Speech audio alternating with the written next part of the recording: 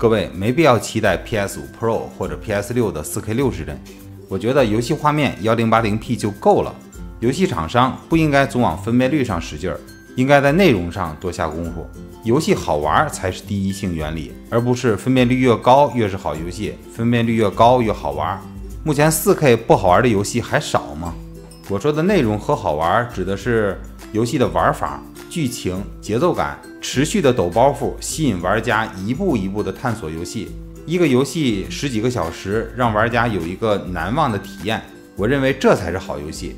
至于分辨率，我真心觉得幺零八零 P 六十就够了，PS 五的二 K 那就更好了。下面说说理由。我最近看了一部电影，叫《指挥家》，是女性励志剧，并不是说电影多好看啊，是我在看电影的时候产生了一些感悟。我是陪老婆看的，没从头看，不经意间瞟了几眼，就被电影的画面、灯光、纹理细节以及整体的品质感给吸引过去的。我还特意确认了一下。是爱奇艺的蓝光幺零八零 P，用 XSS 看的。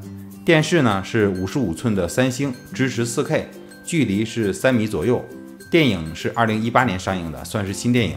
按照游戏的习惯，幺零八零 P 分辨率应该很糊，特别是在四 K 屏幕下看幺零八零 P 应该更糊。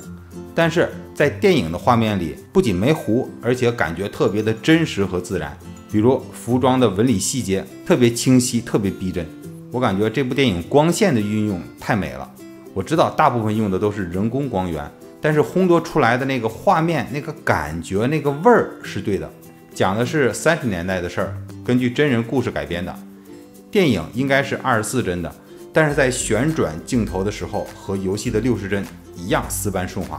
看电影的时候，我突然想到，游戏如果有这样接近真实的画面，该有多好啊！